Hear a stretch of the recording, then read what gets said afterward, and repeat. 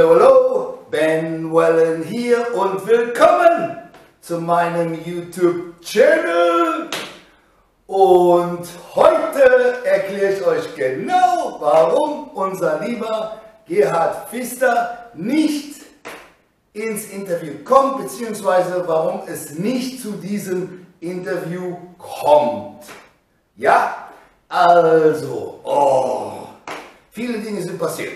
So, damit ich das jetzt nicht vergesse, habe ich mir hier so ein paar Notizen gemacht, ja, okay, so. Im Falle das gucke ich vielleicht mal hier links oder rechts noch mal ein bisschen drauf, damit ich nichts vergesse, damit ihr auch alles versteht, was jetzt wirklich passiert ist. So, ich habe ja den Gerhard angeschrieben, habe gesagt, hey Gerhard, da ist nicht mal Lust, ein Interview zu machen. Und der Gerhard war direkt super nett und hat gesagt, ja klar, machen wir und äh, finde ich gut und bla bla bla. Und dann haben wir am Anfang uns gegenseitig Sprachnachrichten drauf gesprochen. Also wir haben niemals telefoniert, alles ging über Sprachnachrichten. Ne? Und äh, ganz viele. Und äh, wie er so erzählt hat, und wir haben ja so einen gemeinsamen Freund, über den wir uns so ein bisschen lustig gemacht haben. Ne? Ihr wisst alle, wer das ist, brauche ich jetzt nicht zu sagen. Und wie gesagt, durch diese Sprachnachrichten, oh, ja Mann, das ist so ein geiler Typ, das ist so geil, das Interview wird total der Hammer, wie auch immer, ja. So, und dann haben wir uns verabredet, ähm, jetzt so ein Interview zu machen, ne? So, ihr wisst ja, oder nee, fangen wir erst so an. Seine Frau, Freundin, was auch immer, hat ihn irgendwie verlassen, ist ausgezogen, was auch immer, und hat all seinen Computer, Laptop und alles Mögliche mitgenommen. So blieb im Prinzip nur noch das Handy übrig für das Interview. Okay? Und der Gerhard hatte vorher schon mal ein Interview gemacht, ich weiß jetzt nicht genau mit wem, äh, ne, mit einem von den deutschen äh, Podcasts, was auch immer. Und äh, er konnte das selber nicht, hat dann seine damalige Freundin für ihn eingerichtet, draufgeklickt, was auch immer ne, man machen muss, ihr wisst ja. Und ähm, ja, also sie hat es gemacht. Dann wisst ihr ja, ich habe das Weihnachtsvideo gemacht. Und in dem Weihnachtsvideo sind was? 20, 25 Leute mit mir dabei. Und die haben alle über Laptop, Computer, äh, Handy, was auch immer. Und jeder hat es geschafft, zu dieser Plattform zu kommen. Richtig? Es ist ja eine Plattform. So, bei manchen gab es vielleicht am Anfang ein bisschen Schwierigkeiten, aber nichts, was man nicht innerhalb von 15 Minuten aus dem Weg räumen konnte. Ne? So, ja, weg. So, dann habe ich dem Gerhard die Link geschickt und äh, er hat es versucht mit seinem Handy und hat nicht geklappt. So, hm. Dann sage ich, okay, dann mach doch in deinem Handy Google auf ne? und dann kannst du Copy-Paste, ich hatte das auch in einem Fall, dann machst du Copy-Paste und machst das in Google, Chrome und dann klappt das 100%. Mhm. Copy-Paste, aha, mhm. Ja, man muss natürlich wissen, was Copy-Paste ist, ne? Ja, so, mhm.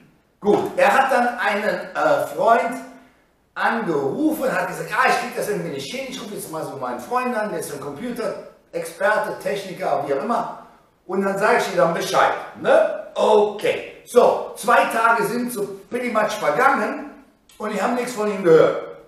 So, nach zwei Tagen habe ich ihn Kontakt hergestellt, sage, hey, was ist los? Ja, okay, jetzt, da war irgendwas mit meinem Telefon, irgendwie war da was, was nicht stimmte, aber das sollte jetzt klappen. Sage ich, okay, dann lass uns mal einen Test machen. Ne? Okay, so. Dann hat er wieder einen Test gemacht und spricht wieder drauf, ah, geht nicht, ne? Aber ich so, scheiße, ne? So. Ähm, dann habe ich gesagt, hm, ich will jetzt nicht auf die Füße treten, aber wie ist denn vielleicht die Möglichkeit, du hast einen Freund, der einen Laptop hat und dann können wir das da machen, eine Stunde oder zwei oder nee, nee, nee, ich belästige meine Freunde nicht und so, so. Okay, verstehe ich, ne? Also, wenn jemand so ist, ist ja kein Problem, ne? Belästigt seine Freunde nicht. Alles klar. Lass, dann sagt er, lasst uns doch ein Audio machen. Ich so, was? du machst, wir machen ein Audio und dann zeigst du so ein paar Bilder, weil das Audio spielt. Nee. Was ist denn das? Ja, okay. So, dann hat er gesagt, okay, mach dir keine Sorgen, wir kriegen das irgendwie hin, ich will das Interview ja auch machen. Dann habe ich gesagt, okay, okay. Äh, jetzt habe ich gesagt, der macht sich jetzt irgendwie Mühe von seiner Seite aus. Er sagt, das irgendwie schaffen wir das. Ja. Dann kam nichts. Dann hat er mir gesagt, okay, ähm, wie wäre es denn, wenn wir es über Messenger machen, Facebook Messenger. Da sage ich, okay, lass mich das mal ausprobieren. Also soweit, was ich bis jetzt gesehen habe, ist das nicht gut. Dann habe ich das ausprobiert mit Abby. Wir waren nur fünf Meter auseinander. Bild ist ständig eingefroren. Der Ton war absolute Katastrophe. Ja? Und äh, ging überhaupt nicht. So, jetzt war ich an diesem Tag, jetzt ging das schon über zwei Wochen oder so. Jetzt war ich an diesem Tag richtig busy. Da habe ich gesagt, okay, äh, ich finde was anderes. Mach dir keine Sorgen, ich finde eine andere Plattform. Dann habe ich nach anderen Plattformen gesucht, habe auch im Endeffekt was gefunden, habe mich da eingeloggt, war schon auf Sendung, ja, und dann habe ich gesagt, invite Leute ne, zur Plattform, um das Interview zu machen. Und dann kam es, du brauchst eine E-Mail. Ich habe also zwei andere gefunden und beide wollten eine E-Mail von der Person haben, die ich dann einlade. Das heißt, die kriegen die Einladung per E-Mail, dann drücken die da drauf und dann sind die dann auf dem Podcast. So, da schreibe ich dem Gerhard, hey, gib mir mal schnell deine E-Mail. Ja? Nix. Ich höre nichts. Ihr seht die Nachricht, ich höre nichts. Ich sehe nichts. Was? Vier Stunden später, ich bin immer noch ne, auf der Plattform, warte wie so ein Idiot. Vier Stunden später schrei, schrei, äh, hinterlasse ich ihm eine Sprachnachricht. Ich sage, hey, Gerhard, pass mal auf, äh, gib mir doch bitte schnell mal deine E-Mail, ne? dann kannst, können wir das machen, dann geht das ganz einfach. Da schreibt er mir oder hat er mir Nachricht aufgeschrieben, das weiß ich nicht. Ich habe keine E-Mail. Ich habe noch nie in meinem Leben eine E-Mail gehabt. Ja, mit dem ganzen modernen Quatsch will ich überhaupt nichts zu tun haben. Ne? Früher war alles besser. Heutzutage ist alles scheiße. Ne? Da musst du hier drauf klicken und da drauf klicken und hier drauf klicken und da drauf klicken. Ah, all dieser elektrische neue Kram ist alles scheiße, interessiert mich nicht. Ich bin jetzt müde. Ich äh, mache jetzt Feierabend. Ich will mit nichts was zu tun haben. Ne? Äh, und Schluss. Ich so, what? Aber richtig so, hammermäßig. Ne? Und dann hat er gesagt, und außerdem fühle ich mich bedrängt. Jetzt fühle ich mich richtig bedrängt. Eine E-Mail. Ich mache doch keine E-Mail. Ne? Also so habe ich mich das jetzt nicht vorgestellt. Ne? Ich mache ja jeden Spaß mit und so. Aber ne, jetzt soll ich noch irgendwie so eine E-Mail machen? Also, ne, das geht ja gar nicht. Ne? Und ich habe jetzt auch gar keine Zeit mehr. Und äh, ich habe dann noch so ein paar äh, Unterricht und das muss ich machen. Und äh, ja, wie auch immer. Ne? Und äh, in einer Woche habe ich frei. Okay, da habe ich gedacht, ich antworte ihm gar nicht. Calm down, ruhig, es läuft, ruhig, es läuft. Aber ich fand ihn halt so interessant, deswegen wollte ich das Interview auch machen. Habe ich wieder nach anderen Alternativen gesucht von Plattformen. Ich war auch willig zu bezahlen, diese Alternativen, nur um das eine Interview zu machen, ja? dann habe ich etwas gefunden. Ne? Die Woche war vorbei, ich habe eine neue Plattform gefunden, ich habe ihm einen Link geschickt auf Messenger, da brauchte er nur drauf zu klicken und danach Lounge, Meeting und boom, wäre drin gewesen. Ne? So. Habe ich ihm auf Instagram, weil diese ganzen Sprachnachrichten die gingen über Instagram, habe ich ihm auf Instagram drauf gesprochen, äh, geschrieben oder drauf gesprochen, da weiß ich jetzt nicht mehr. Nee, ich habe gesprochen. Er hat gesagt, ah Gerhard, hey, äh, ich hoffe, äh, alles ist okay, da hast ein schönes Wochenende und äh, alles ist wieder normal. Ich habe dir auf Messenger einen Link geschickt, da klickst du einfach nur drauf, so und so, und dann klappt das schon. Er hat meine Nachricht innerhalb von einer Stunde gehört, aber ist nicht auf Messenger gegangen, hat nichts angeklickt. Ich habe den Link 36 Stunden aufgelassen. 36 Stunden. Mein Computer angelassen, Link aufgelassen, alles war klar. Er hat sich noch nicht mal die Mühe gemacht und hat da drauf geklickt auf Messenger. Ne? Also ich konnte sehen, er hat die Nachricht noch nicht mal gelesen auf Messenger. Dann habe ich ihm eine Nachricht geschickt, sagt, alles klar, vergiss es. Weil, Jungs, es ist nur so viel, was ich tun kann. Ich wollte das Interview wirklich machen, aber irgendjemand musste mir halt sagen, dass wir im 21. Jahrhundert leben und ähm, dass halt Dinge jetzt anders sind wie in den 80ern. Ja, so, so sieht's aus. Ne? Was soll ich sagen? Tut mir leid, Jungs. Aber ich habe eine Ankündigung zu machen. Am Samstagabend kommt ein Interview. Yay! Und? Excited? Ja? Ja? Und ihr kennt alle diesen Gast, nehme ich mal an, und die meisten von euch, ne, die mögen den, glaube ich, auch. Also habe ich so im Gefühl, die meisten von euch, die jetzt zuschauen, die mögen den auch. Denn unser Gast ist, na, moi. Exactly. Like Ben, was? Was ist das für ein Scheiß? Bodybuilding Impuls ist auf mich zugekommen. Ich glaube am Freitag, Donnerstag letzte Woche haben gesagt, ach, hast du nicht mal Interesse, Interesse daran, mit uns ein Interview zu machen? Und dann habe ich gesagt, ja klar, gerne. Weil ich kenne den Mika äh, nicht sehr gut, aber ich kenne ihn halt hier über YouTube und WhatsApp und weiß nicht was. Und ist ein netter Kerl, habe ich gesagt, ja klar, machen wir. Und dann haben das Ding drei Tage später direkt rausgehauen. Voll das Interview. So, dieses Mal ist es so, dass ich bin selber der Interviewgast und ich werde halt gefragt, ne, viele Fragen und ich antworte halt so, wie ich, ihr mich kennt, 100%, geradeaus, ich sage so, wie es ist. Und äh, ich denke, das Interview ist okay, nicht so schlecht geworden, ihr könnt selber darüber entscheiden. Wie gesagt, Samstagabend ist es online on YouTube, das Interview mit Ben Wellen, yay! Okay, das dazu. Lasst uns mal kurz reden über den Tod von Tom Prinz. Tom Prinz ist ja mit 52 Jahren vor ein paar Tagen gestorben. Er ist an Krebs gestorben. Leider gibt es wirklich nirgendwo die Information, was denn das für eine Art von Krebs jetzt war. Ich weiß es wirklich auch nicht. Das ist so ein Riesengeheimnis, Getue drumherum, wie auch immer.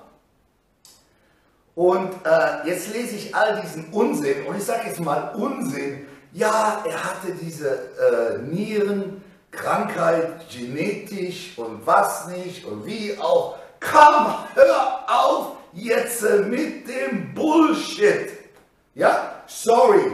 Ich will jetzt nicht wieder schlecht über einen Toten reden, aber wenn ich immer diese Scheiße lese, ja, genau wie mit Flex Wheeler, aber das ist äh, ein anderes Thema mit seinen Nieren Jungs, ich kannte Tom Prinz jetzt nicht so super persönlich, aber er hat zur, Zeit, zur gleichen Zeit mit mir im Gold Gym trainiert. Ich habe ihn jeden Tag gesehen. Das war 2001, das war 2002, in dem Jahr, wo er seine Karriere beenden musste. Okay? Er hat trainiert, er hat richtig schwer trainiert, er war ein richtiger Brocken. Aber du konntest sehen, in 2002 so einen Monat oder so, bevor er retiren musste, der sah krank aus. Der war am Pusten beim Training. Ne? Also jedes Mal, wenn er jetzt in der Pause war, ne?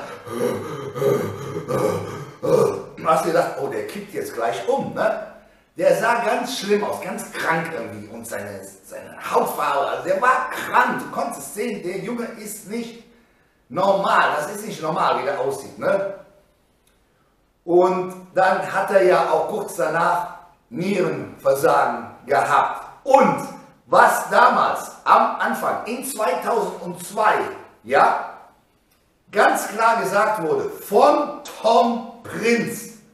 Was glaubst du, warum das so war? Hat er gesagt, ich bin zum Arzt gegangen und ich habe dem Arzt genau erzählt, was ich nehme. Und das Problem war mit Tom Prinz, der hatte ständig Gelenkschmerzen gehabt und er hat sich sechs, sieben, acht, neun Painkiller am Tag reingeschmissen. Ja? Jeden Tag voll die Painkiller. Und wisst ihr, was das Schlimmste ist mit den Painkillern? Die Nieren, die killen die Nieren. Ja? Ist genauso mit dem Anabolika. Jungs, Anabolika schädlich für die Leber. Ja, ja, aber die Leber kann sich immer regenerieren, solange ihr noch 10% Funktion habt. Die Nieren, wenn die einmal krank sind, wenn die aufhören so richtig zu funktionieren, it's over. Dann braucht ihr eine neue Niere, einen Nierenspender. Er selber hat zugegeben damals, dass er sich die Nieren kaputt gemacht hat mit Painkillers. Das weiß ich ganz genau. Ganz genau in 2002. Weil der war dann noch öffentlich. Und dann über die Jahre hat sich das irgendwie so gedreht, dass er jetzt irgendwie so eine Nierenkrankheit hatte oder so eine Scheiße. Ja, klar. Der Junge hat mir leid getan. 20 Jahre, 20 Jahre an der Dialyse. Könnt ihr euch überhaupt vorstellen, wie brutal das ist? Jeden zweiten Tag zum Krankenhaus, vier bis sechs Stunden an diesem Automaten angeschlossen zu sein, wo das ganze Blut einmal durchgespült bzw. gereinigt wird. Oh mein Gott, jeden zweiten Tag. Also absolute Tortur für den armen Kerl. Ne? Und der war ja auch nur noch so schmal im Endeffekt, ich weiß nicht, 160 Pfund oder was er auch gewogen hat. Also relativ schnell, nachdem er retired war, weil seine Kidneys haben total aufgegeben. Und wenn die Kidneys aufgeben, dann ist er ein bist du weg. Ne? Also geht ganz schnell. So, Jungs, seid vorsichtig auch mit den Painkillern, okay? Die Nieren ist das größte Problem, ja? Das Herz kommt dann über die Jahre später. Die Nieren, Jungs, aufpassen, aufpassen, ne? Okay, so das war das.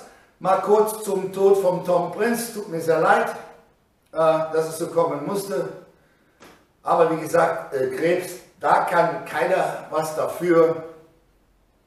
Wir alle können Krebs bekommen in jedem Alter, als Teenager, in deinen 20ern, 30ern, 40ern, 50ern, 60 Jeder kann Krebs bekommen. Da kann sich keiner von vor schützen, auch nicht durch gutes Essen oder das oder das. Du kannst es immer nur ein paar Jahre vorschieben durch ne, gesundes Leben, aber es wird kommen, ne, früher oder später. So, also Rest in Peace oder Ruhe in Frieden, Tom Prinz.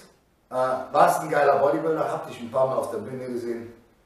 Äh, ein Riesenvieh, ne? Tut mir leid. So, das war es für heute. Ein relativ kurzes Video. Das Interview wird ein bisschen länger. Ich glaube, es ist so anderthalb Stunden oder so. Ähm, wie gesagt, ich hoffe, es wird euch gefallen. Am Samstagabend kommt es dann. Ne? So, das war's für heute. Jetzt wisst ihr Bescheid, ne? Mit dem Gerhard, ja? Er ist auch genannt Gertschi in Bayern und niemals, niemals, niemals nennt ihr den bitte Gerd. Das mag er überhaupt nicht. Okay? Bis zum nächsten Mal, euer Ben Wellen says